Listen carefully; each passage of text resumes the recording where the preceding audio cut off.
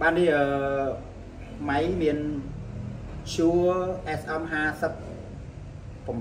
ហើយនេះ Shure Beta 58A អឺមួយណាល្អជាងមួយណា បាទអញ្ចឹងខ្ញុំធ្វើការវីដេអូនេះចែកចាយខ្លីៗខ្ញុំនិយាយពីបទពិសោធន៍ទៅខ្ញុំអត់និយាយទៅលើរឿងច្រើនទេផលិតឆ្នាំណាហើយ frequency វានឹងយ៉ាងម៉េចអីយ៉ាងម៉េចខ្ញុំអត់និយាយទេប៉ុន្តែគ្រាន់តែប្រាប់ថាមួយនេះថ្លៃជាងហើយមួយនេះថោកជាងហើយមួយនេះទើបតែចេញក្រោយទេមួយនេះចេញមុនបាទ ធ្វើឲ្យបងប្អូនយល់ច្រឡំថាពេលពេលណាខ្លះដែលយើងគួរប្រើវាតែយើងគួរមានមួយណាបាទអញ្ចឹងសម្រាប់បទពិសោធន៍ខ្ញុំខ្ញុំចូលចិត្តចែកចាយបទពិសោធន៍ខ្ញុំប្រាប់ដល់ក្រុមការងារខ្ញុំអញ្ចឹងនេះជាអ្វីដែលក្រុមបុគ្គលិកខ្ញុំក៏បានសួរម្សិលមិញតែហេតុអីបានខ្ញុំត្រូវប្រើម៉ៃ SM 58ធម្មតាច្រើនជាង Beta 58A ធម្មតាក្នុងការប្រើប្រាស់ម៉ៃមិនគ្រាន់តែមានម៉ៃល្អមិនគ្រាន់តែមានម៉ៃមានតម្លៃខ្ពស់ហើយយើងគិតថាល្អទេក្នុងការដែលប្រើប្រាស់យើងគួរតែជ្រើសរើសឲ្យត្រូវទីតាំងយើងគួរជ្រើសរើសឲ្យត្រូវមនុស្សក្នុងការប្រើប្រាស់ តើយើងគួរប្រើប្រាស់បែបណា ជាធម្មតាក្នុងបទពិសោធន៍ខ្ញុំខ្ញុំតែងតែឲ្យតម្លៃខ្ពស់ទៅលើ my original ហើយ my shoe នេះគឺជាខ្ញុំ fan របស់ក្រុមហ៊ុន shoe បាទអញ្ចឹងសម្រាប់ខ្ញុំដែលខ្ញុំ recommend ជូនបងប្អូនភាគច្រើនដែលគាត់មកដល់ទីនេះគឺមកជួបខ្ញុំគឺខ្ញុំឲ្យប្រើ58ធម្មតាចំនួនដែលប្រើ beta 58A ហេតុអីមកខ្ញុំត្រូវការឲ្យគាត់ប្រើនៅ58ធម្មតា ថ្មីសម្រាប់58ធម្មតានេះបើយើងនិយាយទៅ គឺវាមានតម្លៃល្មមបាទ100ជាងហើយក្នុងការប្រើប្រាស់វាងាយស្រួលសម្រាប់បងប្អូនណាដែលគាត់ប្រើប្រាស់អឺនៅលើម៉ៃនេះគឺប្រើប្រាស់ទៅលើអ្នកដែលមានអឺចលនាច្រើនអ្នកដែលមិនមែនជាអាជីពអ្នកដែលមានអឺអត់មានភាពច្បាស់លាស់ក្នុងការប្រើប្រាស់ម៉ៃ អញ្ចឹងម៉ៃនេះនៅពេលដែលបងប្អូនប្រើវាមកបងប្អូនអាចប្រើវាសម្រាប់អ្នកដែលគាត់និយាយទៅគាត់ងាកចុះងាកឡើងធ្វើឲ្យសម្លេងនេះវា drop down ដែរប៉ុន្តែវា drop តិចក្នុងកម្រិតមួយដែលយើងទទួលយកបាន ហើយមួយទៀតសម្រាប់អឺនេះគឺអត់រើសមនុស្សច្រើនទេ បាទបទពិសោធន៍នេះខ្ញុំប្រើច្រើនជាមួយបរទេសភាគច្រើនបរទេសគាត់ recommend គាត់យក58ធម្មតា ពីព្រោះសម្លេងរបស់វាគឺទូទៅបាទមិនថាប្រុសមិនថាស្រីហើយយើងធ្វើការ EQ តែបន្តិចបន្តួចគឺយើងយកជាការបានត្រឡប់មកវិញសម្រាប់ beta 58A ហេតុអីបានយើងថា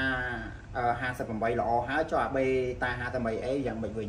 អានេះវាល្អដូចគ្នាបាទហើយវាសម្លេងវាបើយើងនិយាយទៅគឺយើងអត់ពិបាកក្នុងការដែលយើងសេរីច្រើនទេពីព្រោះនេះយើង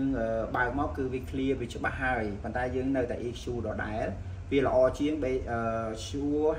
58ធម្មតាហើយមួយទៀតសម្រាប់មួយនេះយើងតែការប្រើ gain ច្រើនបន្តិចប៉ុន្តែសម្រាប់ beta 58អីអត់ត្រូវការប្រើ gain ច្រើនទេពីព្រោះវាសម្លេងវាវាខ្ពស់ជាងអឺ Shure 58ធម្មតាសម្រាប់ខ្ញុំបទពិសោធន៍ខ្ញុំដែលខ្ញុំអត់ចង់និយាយច្រើនទៅរឿងអីណាអីណាវែងឆ្ងាយទេខ្ញុំចង់និយាយតែរឿងការងារចាំបាច់បើសិនជាបងប្អូនធ្វើការជាមួយ live sound បងប្អូនត្រូវដឹងថាតើម៉ៃនេះប្រើសម្រាប់បុគ្គលណាមនុស្សណាដែលត្រូវប្រើសម្រាប់បងប្អូនដែលគាត់មានអាជីពជាអ្នកចម្រៀងគាត់មានអាជីពក្នុងការនិយាយឬក៏គាត់ចេះប្រើម៉ៃបានត្រឹមត្រូវអឺគួរជ្រើសរើសឲ្យគាត់ប្រើ beta 58A មូលហេតុកាលណាគាត់ប្រើទៅ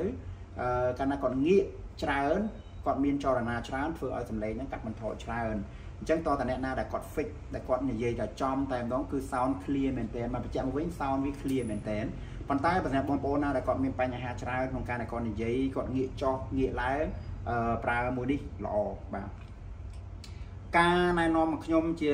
ធម្មតាបងប្អូនច្រើនដែលគាត់សួរខ្ញុំខ្ញុំឲ្យគាត់ប្រើ58ព្រោះ58ជាទូទៅនិយាយម្ដងហើយម្ដងទៀតបញ្ជាក់ បើប្រើបានទូទៅបាទជាពិសេសសម្រាប់បងប្អូនតាមជំនាញតាមផាប់អីខ្ញុំកាលណាចម្រៀងខ្លះគាត់គាត់ច្រៀងគាត់ចេះច្រៀងមែនប៉ុន្តែគាត់ច្រៀងគាត់ងាកច្រើនទៅច្រើនប្រើ58នេះល្អប៉ុន្តែបងប្អូនត្រូវការប្រើ EQ ច្រើនបន្តិចជាង beta 58A ត្រឡប់មកវិញដើម្បីឲ្យច្បាស់នៅក្នុងយើងជាអ្នកប្រើប្រាស់បងប្អូនគួរតែតេស្តខ្លួនឯងពិសោធន៍ខ្លួនឯងថាតើមួយណាគួរជ្រើសរើស បាទកុំក្រន់តែលឺគេនិយាយកុំក្រន់តែលឺគេផុសនេះផុសនោះថាអូអានេះល្អហើយទិញតាមគេមិនមែនទេយើងប្រើម៉ៃយើងប្រើក្នុងឋានភាពមួយដែលត្រឹមត្រូវតើអ្នកណាដែលអ្នកដែលប្រើហ្នឹងគាត់គួរប្រើម៉ៃណាដើម្បីឲ្យត្រូវសំឡេងគាត់យ៉ាងម៉េចបើគាត់មានសំឡេងធំបើគាត់មានសំឡេងហាយខ្ពស់ហើយតើយើងគួរប្រើម៉ៃប្រភេទណាយើងត្រូវដឹងកន្លែងហ្នឹងហេតុនេះបានជាគេត្រូវការ សាក់លបងគេត្រូវការតេស្តសោនមុននឹងគេធ្វើកម្មវិធីមួយអញ្ចឹងដូចជាម្សិលមិញខ្ញុំមានកម្មវិធីមួយខ្ញុំឲ្យក្រុមការងារខ្ញុំកំណត់មនុស្សណាដែលត្រូវប្រើម៉ៃប្រភេទណាអញ្ចឹងម៉ៃកាលណាយើងប្រើចំមនុស្សយើងប្រើចំកន្លែងគឺយើងប្រើទៅវាល្អបមិនក៏លោកគ្រូមានប្រសាសន៍ថាប្រើចំមនុស្សអញ្ចឹងណានាអត់ប្រើម៉ៃប្រកាន់មិនមែនទេមានន័យថាម៉ៃយើងប្រើបានគ្រប់គ្នាទាំងអស់ប៉ុន្តែបើសិនជាម្នាក់ហ្នឹងគាត់មានសម្លេងគាត់ខ្លាំង ហើយគាត់ចូលចិត្តនិយាយដាក់នៅក្បែរមាត់ខ្លាំងខ្ញុំគិតថាមួយនេះល្អបងប្អូនមិនចាំប្រើដល់បេតា 58A ទេមួយនេះល្អព្រោះហេតុអីពីព្រោះមួយនេះដើម្បីឲ្យសម្លេងវាលឺខ្លាំងយើងតែការប្រើហ្គេនខ្ពស់ជាង beta 58A អញ្ចឹងបងប្អូនដឹងហើយបើសិនជាសម្លេងអឺមនុស្សស្រីសម្លេងគាត់ចេញមកគាត់សម្លេងគាត់លឺស្រាលសម្លេងគាត់ចេញមកឆ្វាចច្បាស់បងប្អូនប្រើជាមួយ beta 58A នេះវាល្អ ព្រោះហេតុឲ្យបានល្អយើងអត់ត្រូវការលេងហ្គេមខ្ពស់យើងអត់ត្រូវការជួយគាត់ច្រើនទេប៉ុន្តែបើសិនជាគាត់មកប្រើជាមួយនឹង58ធម្មតាយើងត្រូវការ gain ខ្ពស់បន្តិចយើងត្រូវការសេរី EQ បន្តិចដើម្បីឲ្យ sound វា clear អញ្ចឹងទេដើម្បីឲ្យបងប្អូនអស់អំទិលសង្ស័យជំរឿដែលល្អបំផុតបងប្អូនអាចមានខ្លួនឯងតេស្តខ្លួនឯងប្រើខ្លួនឯងបងប្អូននឹងដឹងប៉ុន្តែបើសិនជាបងប្អូនអត់មានទេបងប្អូនជួយមក VS Sound ក្នុងសាខាមួយណាក៏បានដែរបងប្អូនអាចតេស្តដោយសេរីបងប្អូនអាចសួរសំណួរបានបងប្អូនអាចមកនិយាយ ខ្លួនឯងតេស្តខ្លួនឯងដាក់ខ្សែទៅតេស្តទៅដូចខ្ញុំនិយាយមែនអត់បាទសរុបមកវិញចំណុចមាន3ដែលសំខាន់សំខាន់ដែលជាបទពិសោធន៍ខ្ញុំខ្ញុំអត់និយាយបញ្ជាក់មកវិញខ្ញុំអត់និយាយទៅលើ high frequency ខ្ញុំអត់និយាយទៅលើ low frequency អីណាច្រើនទេខ្ញុំនិយាយតែរឿងដែលយើងប្រើបើបងប្អូនប្រើទៅលើ Shure SM58 ទី1យើងត្រូវការប្រើ gain ខ្ពស់បន្តិចទី2 សម្រាប់មនុស្សទូទៅបាទអញ្ចឹងខ្ញុំចង់និយាយភាសានេះមានន័យថាអ្នកណាក៏ប្រើបានដែរអ្នកណាមានចលនាច្រើនអ្នកណាដែលគាត់អត់មានបទពិសោធន៍ក្នុងការប្រើប្រាស់ម៉ៃច្រើនប្រើវាបាទហើយសម្រាប់ beta 58A នេះអ្នកដែលមានអាជីពអ្នកដែលគាត់ប្រើច្រើនគាត់ focus ឲ្យចំតែម្ដងអានឹងអូខេអត់អីទេប៉ុន្តែបើគាត់ងាកច្រើនទេធ្វើឲ្យ sound វាកាត់បន្ថយហេតុផលនេះហើយបានជាខ្ញុំតែងតែឃើញគេនិយាយគេ record សំឡេងក៏ដោយគេនិយាយសម្រាប់អឺបុគ្គលដែលឡើងទៅនិយាយ ថ្លែងសន្ទរថាអីភាច្រើនគេអត់ប្រើ beta 58A ទេគេប្រើ58ធំធម្មតាហេតុអីពីព្រោះពេលខ្លះគាត់ត្រូវការងារបាទពេលខ្លះគាត់ត្រូវការអឺងាកច្រើនសម្លេងវាកាត់បន្ថយដែរតែនេះកាត់ទៅក្នុងកម្រិតមួយទទួលយកបានប៉ុន្តែនេះត្រូវការ focus ឲ្យចំតែម្ដងហេតុផលហ្នឹងហើយបានជាបងប្អូនទិញម៉ៃមកគេមានកន្លែងគេមានកដាស់មួយគេប្រាប់យើងថាម៉ៃហ្នឹងប្រើយ៉ាងម៉េចបាទអញ្ចឹងអ្នកថតនេះគាត់ជាអ្នកធ្វើការនៅកន្លែងយើង អញ្ចឹងឥឡូវយល់ហើយបាទអញ្ចឹងជប់ឲ្យសួរសំណួរនេះមកខ្ញុំទៀតថាគ្រូពេលណាយើងប្រើវាជាមកវិញម៉ៃទាំងនេះគឺជាម៉ៃសម្រាប់ vocal បាទមិនមែនម៉ៃសម្រាប់យើងប្រើជាមួយឧបករណ៍ទេប៉ុន្តែបងប្អូនយកប្រើឧបករណ៍ក៏បានដែរប៉ុន្តែពេលមិនចំហេតុផលហ្នឹងបានគេបង្កើតម៉ៃសម្រាប់ច្រៀងម៉ៃសម្រាប់ឧបករណ៍ចែកឲ្យដាច់កុំចេះតែប្រើម៉ៃប្តីផ្ដាស់បាទអញ្ចឹងសម្រាប់បងប្អូនដែលមានសំណួរមកខ្ញុំសួរថាខ្ញុំឃើញគេប្រើអញ្ចេះគេនិយាយអញ្ចេះអានឹងជារឿងរបស់ពួកគេប៉ុន្តែបើអ្នក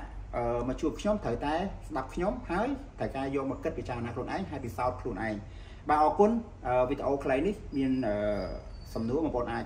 មកជួបខ្ញុំផ្ទាល់ទៅដើម្បីឲ្យបានច្បាស់ជាងហ្នឹងប៉ុន្តែខ្ញុំនិយាយនេះនិយាយរឿងការងារជាក់ស្ដែងទេតែថាម៉ៃមួយណាយើងគួរប្រើសរុបតែក្តីមកវិញម៉ៃដែលល្អទូទៅហើយបងប្អូនប្រើជាមួយនឹង Shu 58ធម្មតាសម្រាប់ទូទៅបាទហើយតម្លៃវាធូរជាង Beta 58A ហើយសួរថាតម្លៃប៉ុន្មានខ្ញុំអត់ហ៊ាននិយាយពីតម្លៃទេ ប៉ុន្តែអ្វីដែលខ្ញុំចង់ជម្រាបជូនបងប្អូនថាបើសិនជាបងប្អូនមានលទ្ធភាពមានតែមួយគួរជ្រើសយក Shu 58ធម្មតាប៉ុន្តែបងប្អូនមានលទ្ធភាពមានដល់2បងប្អូនអាចទិញ2មកអាចយកអានេះមួយអានេះមួយក៏បានដែរពីព្រោះអានេះវាសម្លេងវាច្បាស់ clear ល្អមែនតើប៉ុន្តែដូចខ្ញុំបានជម្រាបជូនបងប្អូនអញ្ចឹងបងប្អូនត្រូវការរើសបន្តិចឬសម្រាប់អ្នកការប្រើប្រាស់ជួនកាលអ្នកហ្នឹងគាត់អត់សូវមានជំនាញក្នុងការកាន់ម៉ៃការប្រើប្រាស់ទេក៏អត់ល្អដែរបាទអញ្ចឹងអរគុណសម្រាប់វីដេអូខ្លីនេះបាទអរគុណច្រើន